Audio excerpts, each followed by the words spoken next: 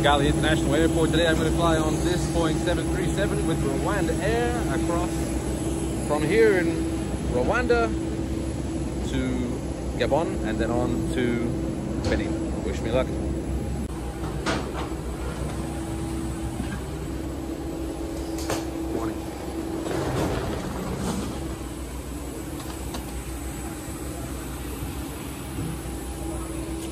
Welcome aboard this Boeing 737-800. Here we see the first four rows, which are business class, and on today's flight there was one VIP using the cabin. I managed to grab the empty row 5, which is the front of economy, and I really like the simple color scheme and the African motif on the wall in front of me. It kind of reminds me of the Fiji Airways pattern which adorns their aircraft. Seats are pretty basic, adjustable headrests and a socket to plug in headphones and a choice of six channels to, in theory, listen to music or movies. I say in theory because as you'll see later, things went a bit wonky with the movie. RwandAir flies to over 25 destinations in Africa, Asia, Europe, Middle East, even the US, and their fleet includes Boeing 737, 700s, 800s, and Airbus A330s. The pillows here are a bit flimsy, but to be honest, I'm just happy to have a roll to myself and uh, any pillow at all. This is actually the third flight of the day for me. I've been awake all night, flown in from Cape Town to Johannesburg to Kigali.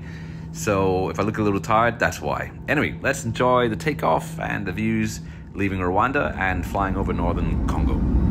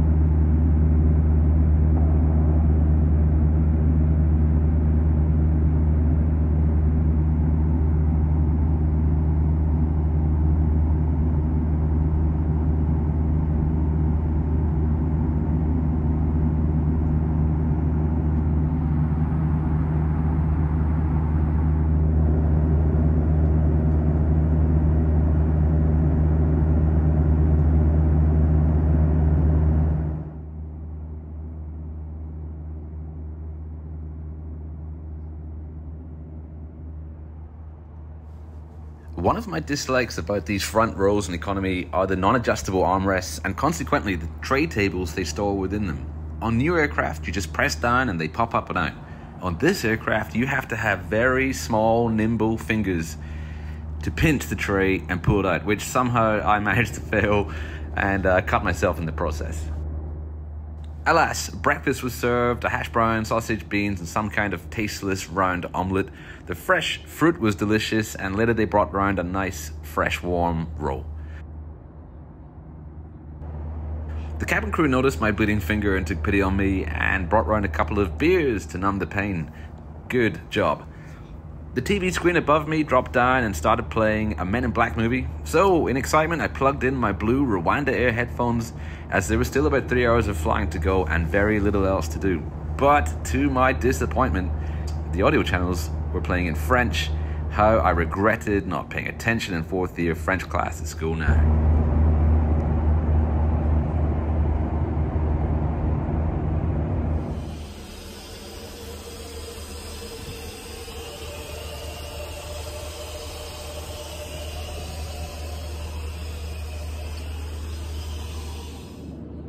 As you can see, it was a pretty empty, relaxed flight. There was only about 50 passengers flying from Kigali to Libreville in Gabon, um, and most of them disembarked in Gabon. At Libreville, new passengers came on board, and in fact, the flight became 100% full for the last leg up to Cotonou in Benin. That was the final destination of this flight. So sit back, relax, and enjoy the rest of this flight as we swoop through the clouds, descending into Gabon's main international airport. If you like this video, please subscribe to see more as it really helps me grow the channel. And until the next time, happy travels.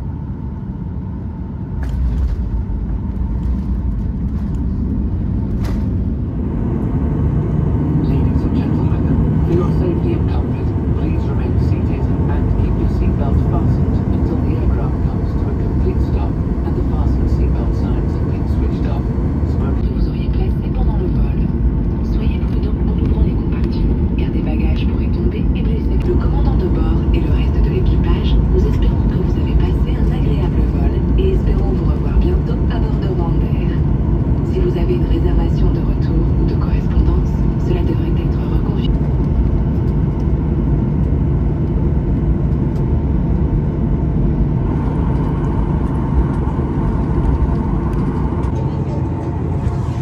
Okay, so we've arrived in Gabon and in Libreville, Gabon, and the majority of the passengers seem to have gotten off.